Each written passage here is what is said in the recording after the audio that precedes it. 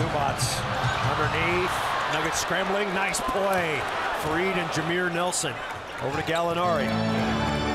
Gallinari going to back his way in. Lakers defense is scrambling. Chandler over the top. When I told Gallo a while ago, tack their shoulder, go right to the rim.